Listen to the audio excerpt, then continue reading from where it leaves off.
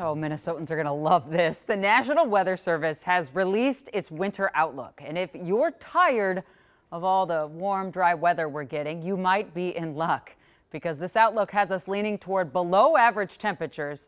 And at the same time, it also shows a trending toward a wetter winter statewide. This is breaking the news, breaking the weather. I'm Jana Shortle. Now, of course, these long range forecasts can be a tricky wicket. But there is some cause for concern that if this forecast misses the mark it's already saying it's going to hit, it would be even colder. And what gets the blame for that? A heat blob. Yeah, a heat blob. Here's Kent.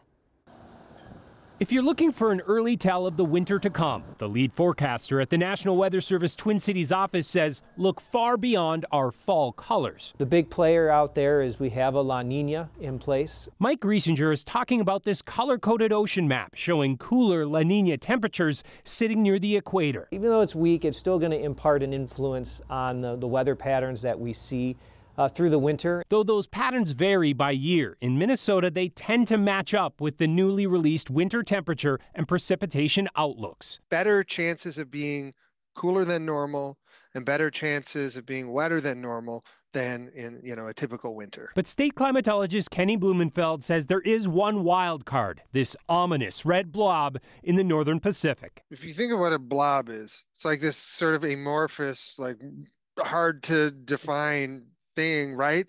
And that actually really works for this thing we're calling the blob in the Pacific Ocean because it too lacks really good definitions.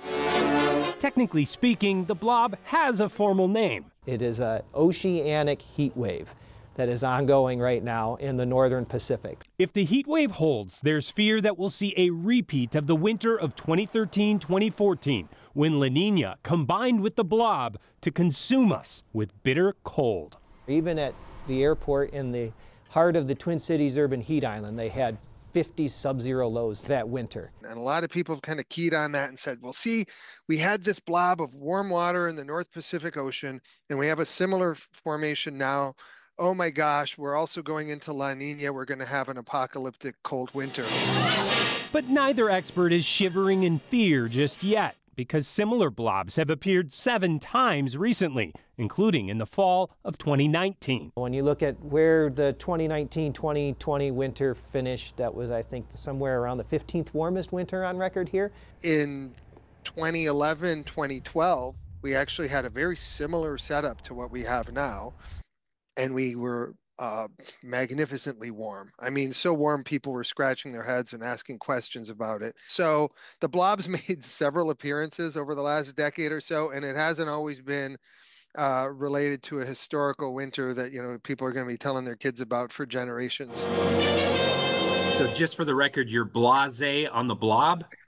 Oh, I am blobsé on the blob. Yeah, I am. I I want, you know, I'm a I'm a climate data scientist, so I do want to see uh, stronger evidence for that connection before we start trying to hang our hats on a super cold, super severe winter because of the blob. So there you go, Jana. I told Kenny you were losing sleep over the blob. This is my fault. He said, no fear, okay. no fear. I have been. That blob has kept me up yeah. at night because I'm afraid of very, very, very cold winters. Yeah. But Jamie said you might want to. Just kidding. Our Jamie. He said you might want to watch out for sneaky winter because towards the end of January, February, into March, that's when those cold temps could really hit. Mm-hmm. We'll see. We're going to check back and check. So work. our meteorologist said, watch out for sneaky winter in six months. Cool. Good tip. We'll be right back.